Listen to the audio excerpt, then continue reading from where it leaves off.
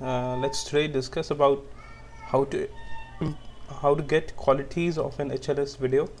For that you just need to create an Android project and import uh, Exoplayer I'm highlighting the line in the Gradle file just include this line. Exoplayer will be in, in included in your project. Then in your manifest file get the internet permission. After that uh, let's create the layout for the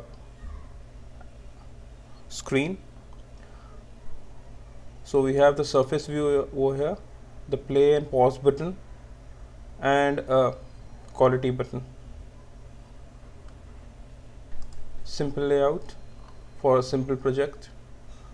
Now let's look at the main file uh, activity.java in in my other video we have seen this uh, HLS how to implement HLS in using Exoplayer. This is the same setup. Just now we are in, we are now we are now integrating the quality setup for this HLS example. So this is a quality button and it's the listener over here. And this is the setup for getting the quality from an HLS video.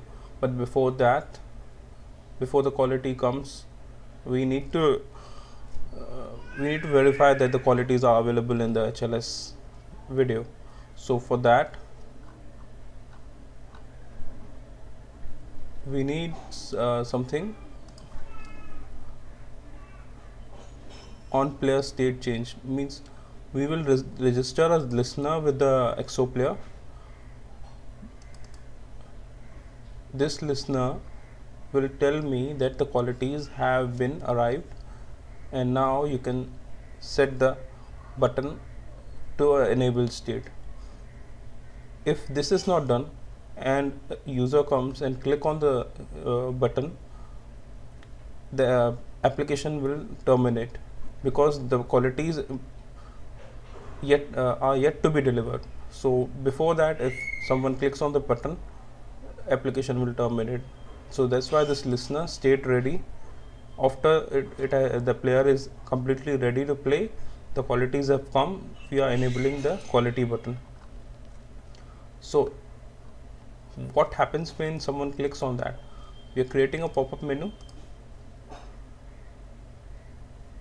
we are creating the on click of the pop-up menu and we are adding the qualities. We are for, uh, initially we are adding video quality. This is the simple text which will come above all the qualities.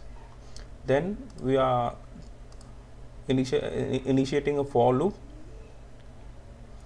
With this we are getting the with get tracks format we are getting the qualities with the menu dot add we are adding the first quality. If it's auto quality if, if the first initially or in HLS the first quality is auto. So if the format is adaptive then we are adding the auto quality. Otherwise we are adding the width then appending a p. So 360p 240 and 1080p like that.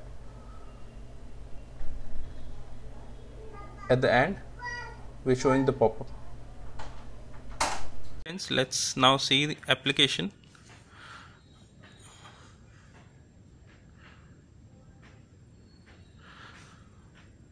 Now as you can see the quality button is still disabled.